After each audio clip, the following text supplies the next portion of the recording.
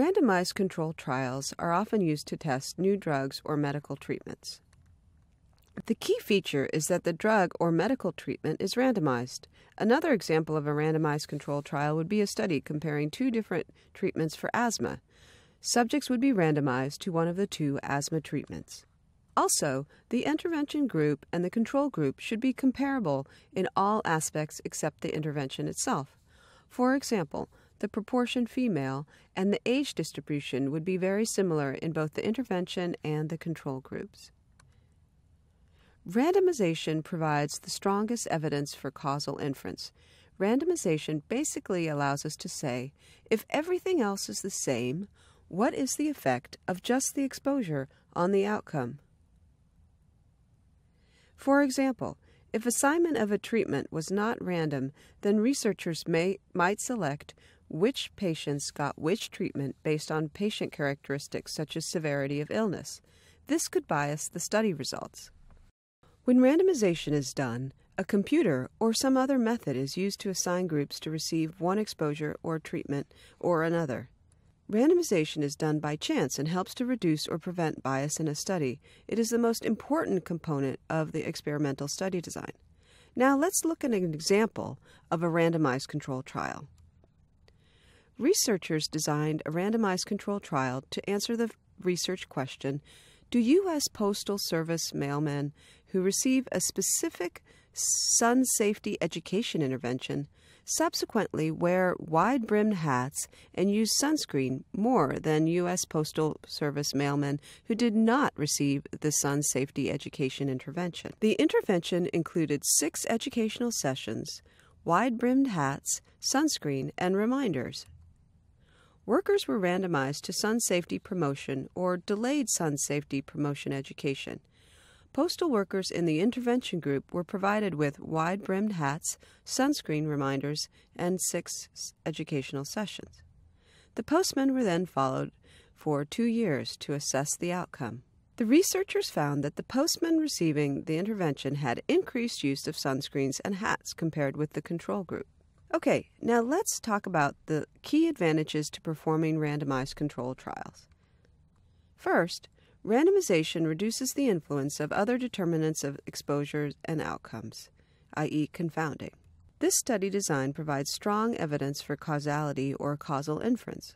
Since investigators assign the exposure or medical treatment, the time or temporal relationship between exposure and outcome is clear. So while there are advantages to randomized controlled trials, it is important to note that there are also disadvantages. Randomized controlled trials can be costly, Sometimes RCTs, or randomized controls trials, have issues with external validity or generalizability. People who participate in RCTs may be very different from the rest of the population. Thus, the effects seen in the participants may not be generalizable to the population at large.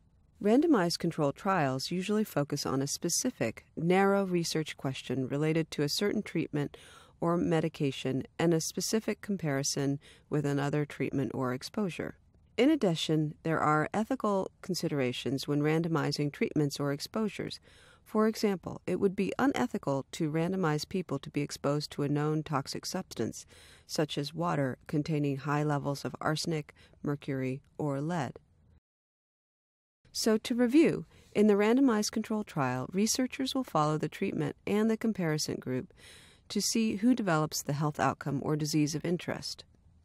Now we will go on to discuss another type of experimental study design known as the crossover clinical trial in more depth.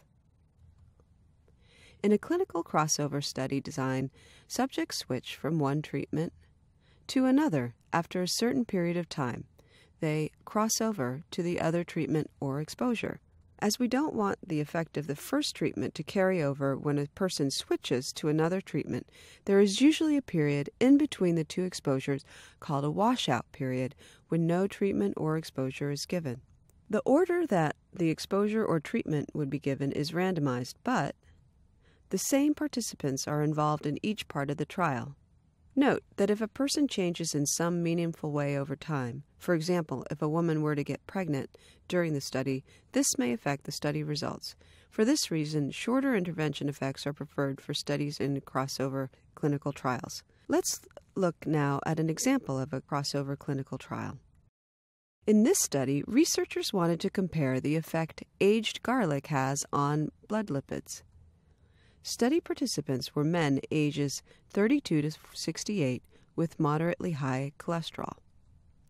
The men in the study were randomized to take a dietary supplement containing either garlic or a placebo for a six month period. Blood tests were recorded, then each participant switched to the other supplement for a time, after which blood tests were recorded again. The test results show that garlic supplements appeared to reduce cholesterol as well as blood pressure.